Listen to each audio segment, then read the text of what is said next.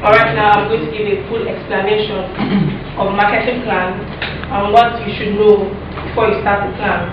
First of all, marketing plan is a process like every other plan, or rather a blueprint, which tells an organization where it is, where it wants to go, and how to get there. So we'll start with mission. mission of the company is probably what it sees itself doing now. For example, our blessing, they're all about nutrition and health. But I'm sure their mission is to create health and wellness for their customers. So that is their mission. So when you have a mission, it is something, it's not something, it's something that gives you ground, that helps you not to deviate from where you want to be. So next is goal. The goal is like when you said your big idea, where what you want to achieve with that mission. Are you are you going to be selling only Milo? What's your goal? Your goal is more or less like the content of the mission.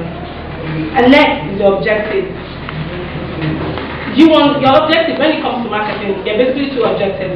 It's either a sales objective or a communication objective. A sales objective which is one that emphasizes sales, which is what most companies do. They don't say volume, sales, sales.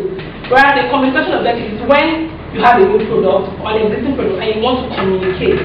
Either you want to tell them about the new product, or want to tell them the benefits of the product, or you just want to make noise, create awareness. And strategy is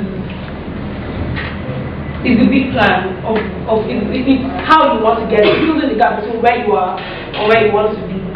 So that, for example, right. the strategy could be. Sure. What's the difference between the marketing strategy and the marketing plan? A strategy is the steps you take. The marketing plan is the get it. So the strategy could be either could be based on you want to use promotion, for example, give discounts. When you buy one, we'll give you something extra. Whereas price could be in common discounts. Yes, it could be a trade discount.